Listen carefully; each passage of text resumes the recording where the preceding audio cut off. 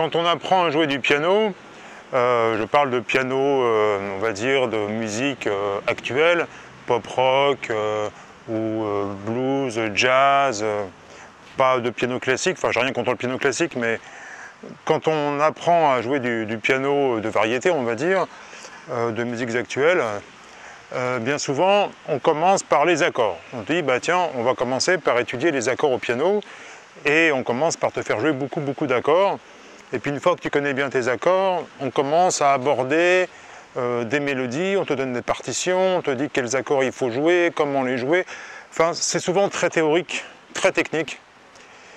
Et euh, malheureusement, ça passe sous silence un élément fondamental qu'on voit après, mais on voit qu'après. Et je trouve c'est dommage, quoi.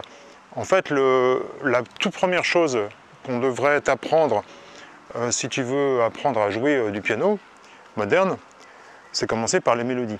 Parce qu'en fait, le plus important dans ce que tu joues, c'est la mélodie, c'est pas les accords.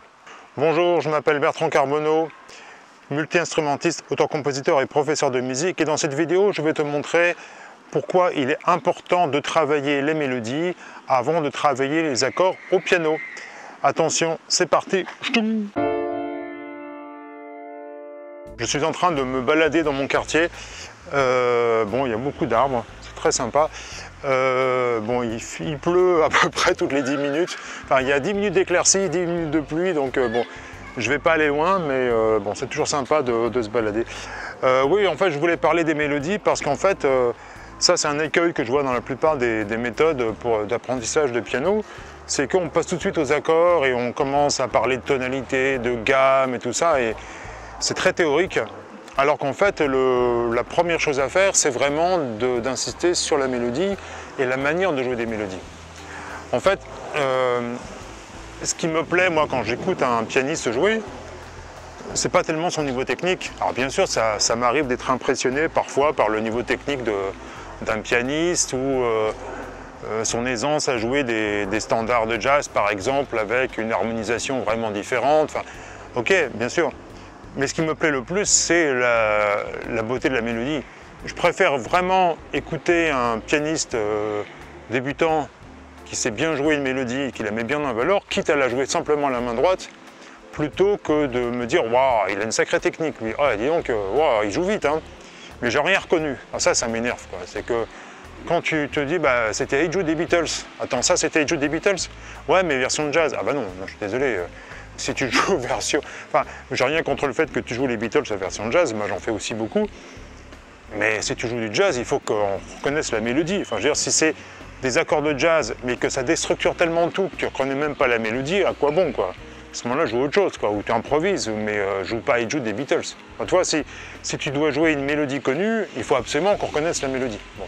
Et il faut aussi qu'elle soit mise en valeur, parce que si tu joues simplement les notes, le bon rythme, mais que, euh, je sais pas, tu n'insistes pas sur les bonnes notes ou euh, il y a des notes qui sont trop fortes par rapport à d'autres. Bref, c'est un peu comme si, je, au lieu de te parler tranquillement de piano, d'un seul coup, il y a des mots euh, que je prononce très fort, mais qui n'ont rien à voir. Enfin, tu vois, par exemple, si je te dis aujourd'hui nous allons prendre un cours de piano. Tu vas dire, bah oui, j'insiste sur le mot piano, c'est le mot important de la phrase. Mais si je te dis aujourd'hui je vais te donner des cours de piano, je veux dire, mais pourquoi il s'énerve sur le 2 C'est quoi le travail là? C'est quoi le délire quoi? Donc tu vois, si tu joues une mélodie et que tu mets en valeur des notes qui ne doivent pas être mises en valeur, enfin c'est un peu incongru, ou même très incongru, bah c'est dommage, tu vois. Donc la première chose à faire, c'est déjà de jouer à la main droite et de savoir jouer des mélodies, d'accord? Donc je vais te montrer euh, comment on peut faire ça avec trois exemples, ok? On passe au piano. Alors, en fait, la première chose qu'il faut faire quand on joue euh, un morceau au piano, euh, en tout cas euh, vis-à-vis de la méthode BAM, en fait, euh, c'est déjà de bien jouer les mélodies.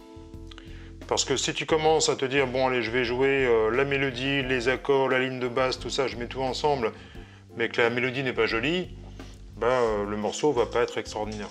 Donc ce qu'il faut, c'est que la, la mélodie, c'est vraiment le plus important. On joue un morceau avant tout pour jouer de jolies mélodies, enfin en tout cas des mélodies qu'on a envie de jouer. Et on les accompagne avec une ligne basse et des accords.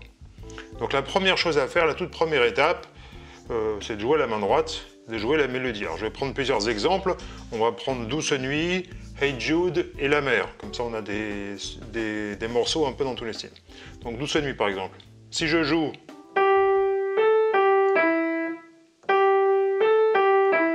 bah, c'est pas très joli, quoi. D'accord? Donc la première chose à faire, c'est ça. Par exemple, essayer de trouver un rythme qui va bien.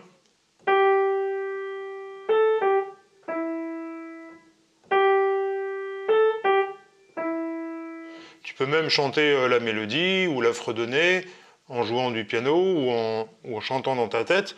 Le principe, c'est que tu trouves une manière de jouer la mélodie qui te plaise.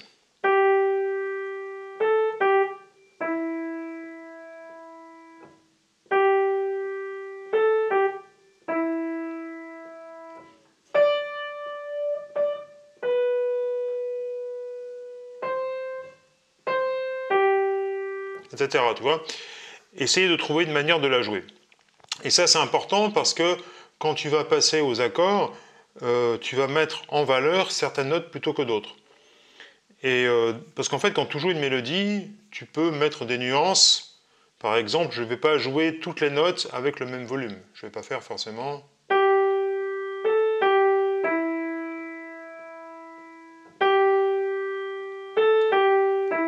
Mais par exemple,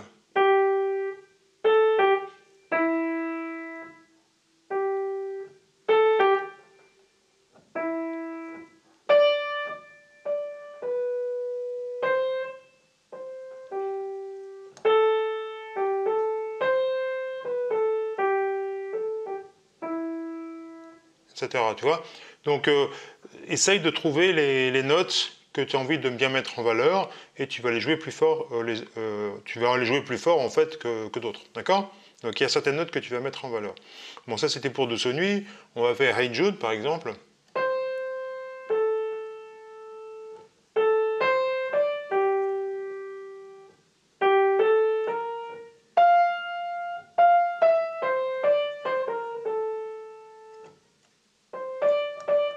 Etc. Tu vois Donc, alors ce que tu peux faire aussi, c'est trouver le doigté. Et là, j'ai fait un, petit doigté là qui n'était pas extraordinaire. Tu peux aussi essayer, en, jouant la mélodie, de trouver le bon doigté, c'est-à-dire de mettre les bons doigts sur les bonnes notes, pour que ce soit souple, pour que ce soit fluide. Parce que si tu fais par exemple... J'exagère, mais là c'est un peu n'importe quoi. Tu vois, j'ai l'impression de devoir me contorsionner. Donc l'idée, c'est plutôt de trouver un doigté qui, fasse que ce soit plus fluide à, jouer. Ça va changer un tout petit peu quand on va jouer les accords, mais euh, l'idée, c'est d'essayer de jouer, si possible, la mélodie avec les doigts 3, 4 et 5, et d'éviter de jouer avec le pouce et le deuxième doigt de temps en temps, mais essayer plutôt de jouer avec les doigts du haut, puisqu'on va répartir les accords dans la main gauche et la main droite, et on va avoir une partie de la main gauche qui va jouer la basse.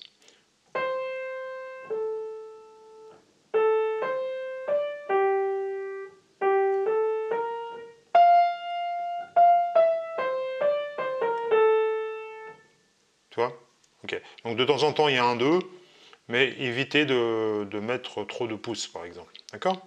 Voilà. Et puis on va, prendre, on va prendre par exemple la mer de Charles Trenet. Donc euh,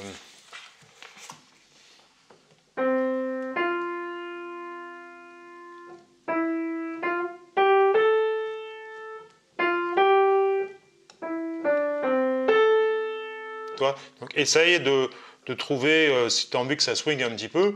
Alors en fait, tu vas jouer la mélodie euh, différemment en fonction du style dans lequel tu veux jouer la mélodie. Parce que tu pourrais très bien te dire, bah, moi je vais prendre quelque chose de très... Euh, les notes bien en place, quoi.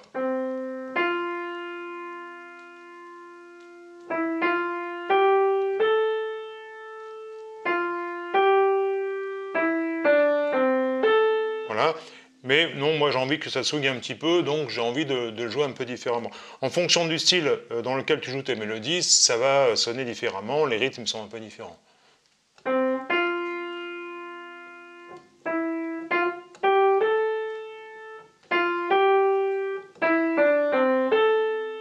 Par exemple, tu vois Ou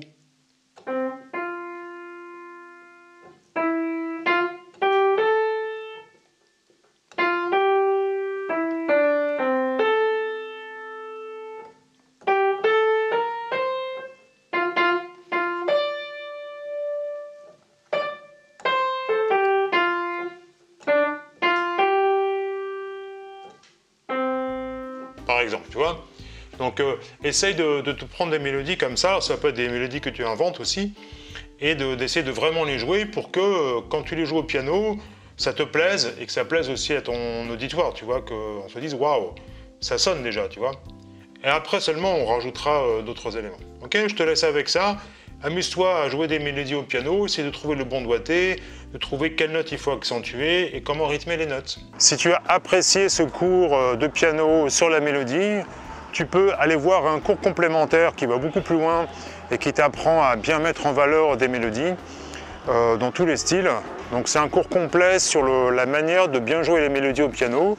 Si ça t'intéresse, tu peux cliquer sur le lien en description de cette vidéo ou sur le i comme invitation en haut à droite de la vidéo si tu me suis sur YouTube et tu vas être redirigé sur la page de présentation de la formation qui t'apprend à bien jouer les mélodies au piano, de bien les mettre en valeur à la main droite. C'est vraiment la toute première étape et tout le reste euh, va venir en complément de la mélodie, mais il est vraiment très important que tu saches bien jouer des mélodies au piano. D'accord?